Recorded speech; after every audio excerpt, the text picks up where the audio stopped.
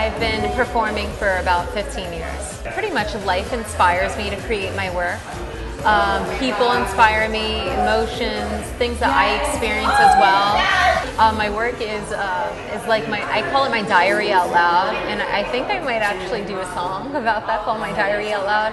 It, uh, I don't actually have a diary; my songs are my diary. If anybody wants to know what I'm going through, I, I would say just listen to one of my songs and you'll know it all. My work aspirations are to pretty much make a connection with people, wanting wanting people to connect with me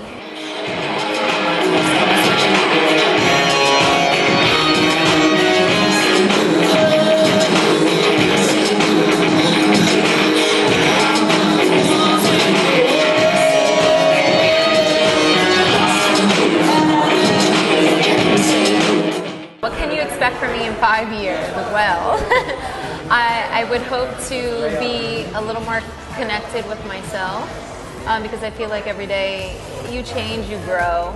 Um, I would just want to be a little more connected with myself, signed to a major label. Right now I'm with an indie label, so major label would be nice. Well, you can go to keniaarias.com, K-E-N-I-A-A-R-I-A-S.com. That's the hub, um, and right there you'll see where the album's available, which is pretty much everywhere online performances and, and so forth. Hi, my name is Kenia and I'm a raw artist.